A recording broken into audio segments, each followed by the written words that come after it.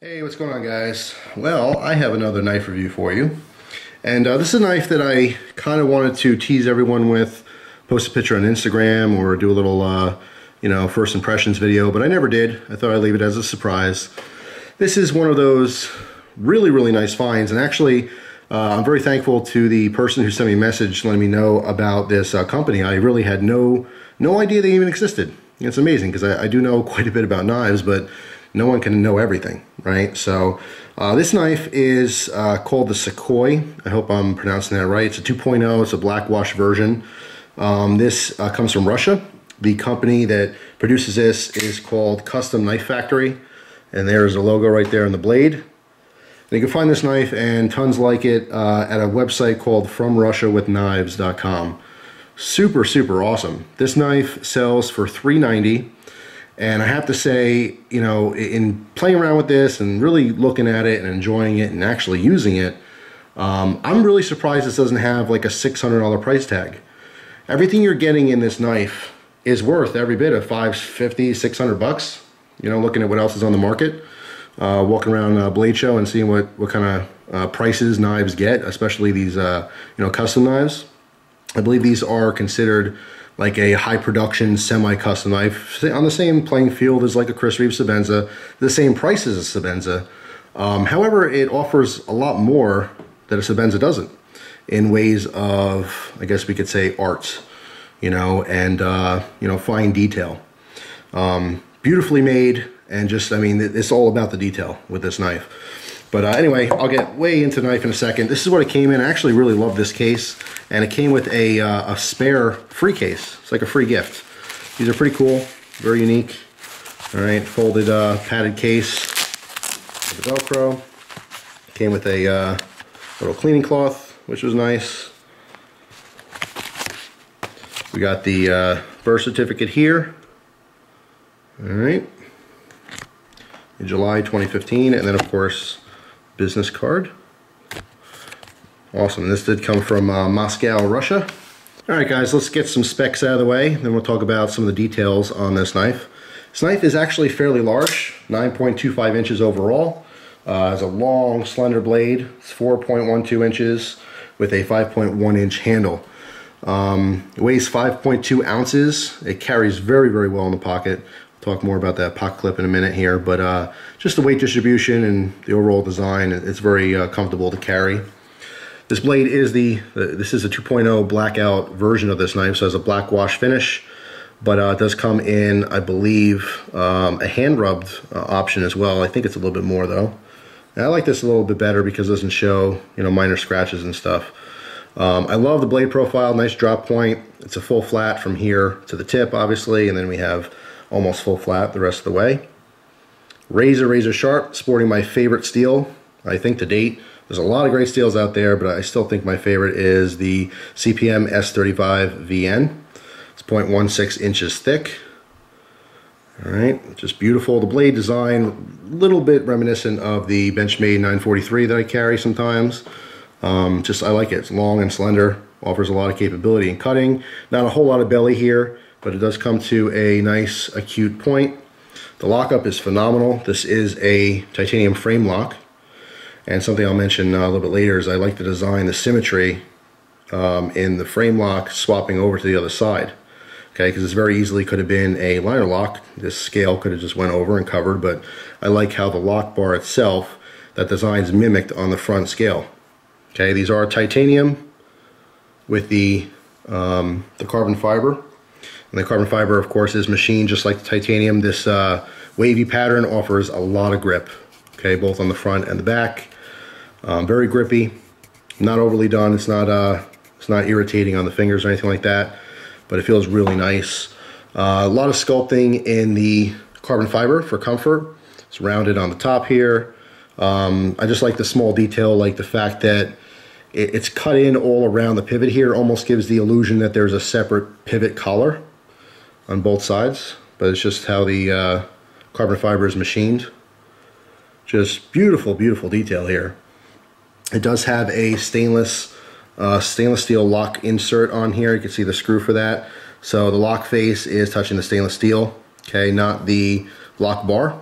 just a little option. It's a little detail that a lot of people kind of prefer in their higher end knives these days. Pretty popular in the industry to see something like that. The lockup is perfect. Definitely spot on. It's extremely smooth. Okay, you can see it's centered very nicely. Um, there is a anodized titanium uh, thumb disc.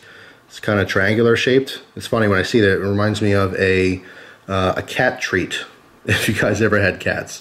Uh, growing up, I had a family cat, and my family still has them, patches. And you know, those little Whiskas brand, whatever. Just looks like a cat treat or cat food to me, little triangle thing. You can see that's anodized nice and blue. The pivot, screw both sides, as is our 3D Machines pocket clip that is super smooth. The only downside to this pocket clip is there's not a whole lot of clearance to the front. Okay, so I did find that with uh, uh, thicker pants, even like my, my uh, tactical, quote unquote tactical cargo pants, uh, I had to kind of do one of these things. I don't know if you ever did this, but when you go to put it in your pants, just use that fingernail to kind of lift it up a little bit for thicker pants. Uh, if you have slacks, this will slip right in, but because there's less clearance under that clip, uh, I do find myself doing that. It's kind of lifting up a little bit to help, you know, jump over that seam on the pocket. But beautifully machined, as you can see.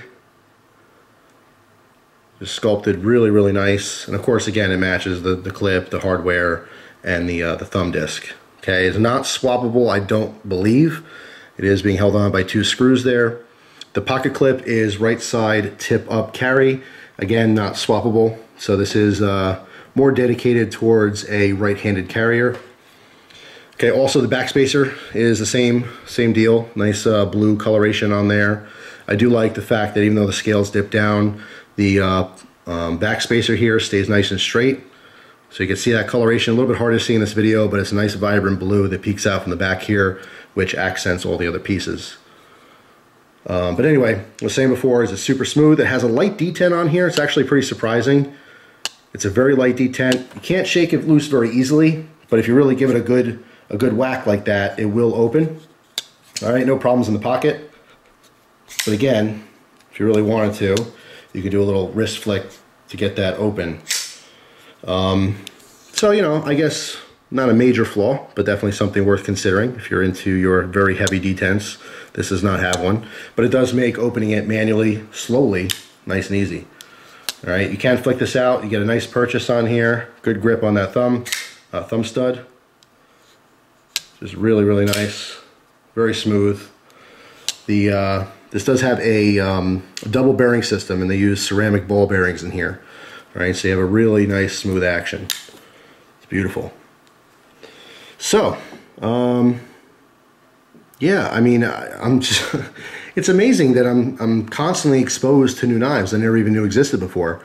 Uh, I never knew of this designer. I never knew of this, this entire company. I mean, if you go to the site, you, you'd be amazed at how many awesome, like, artsy knives there are. Really, really high-end stuff, and the prices don't always reflect that. Of course, they do have their $1,000, $2,000, $3,000 knives on the site, but you will also be surprised at how many more uh, affordable. I give quotes there because if you're really into the custom knife scene or semi-custom or uh, very high quality production knives that are out there, um, you'll know how to relate those prices. To one person watching this, $390 is, is way too expensive. To another person, you know, you're scratching your head going, why isn't that $700? Why isn't that $800? What you're getting there is the same, you know, quality and overall appearance and design that you would pay for in an eight or $900 custom uh, or more.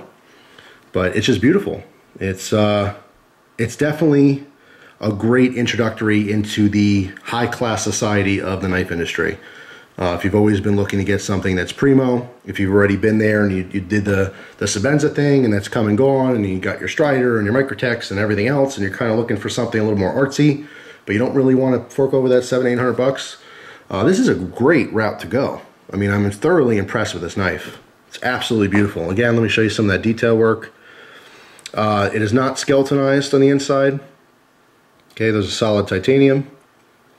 But again, I really like the fact that you look on the front side and you have this design pattern here that is mimicked on the other side, just happens to be the lock bar.